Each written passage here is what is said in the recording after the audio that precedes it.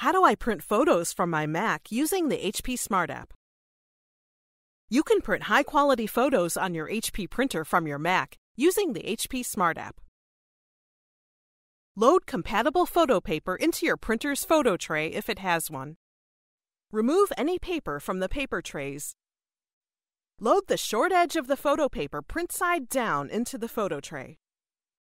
Adjust the paper guides so they rest on the edge of the photo paper. If your printer doesn't have a photo tray, load photo paper into the main input tray. Remove any plain paper from the main input tray. Load the short edge of the photo paper into the tray.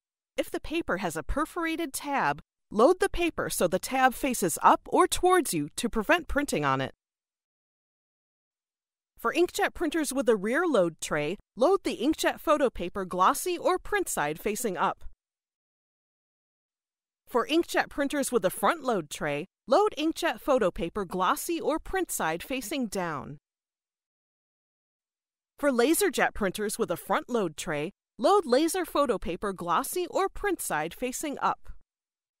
Adjust the paper width guides so they rest against the edges of the paper. On your Mac, open the HP Smart app. If you don't have the HP Smart app installed, download it from the App Store.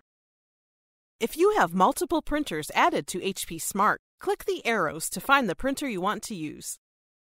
Click the Print Photos tile. Click Browse, then select the photo on your Mac that you want to print.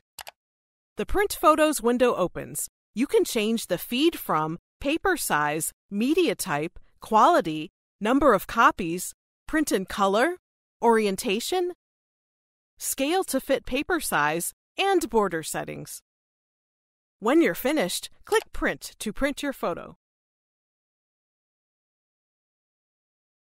Click the Playlists tab in YouTube to find HP videos in other languages. And search our channel to find official HP support videos.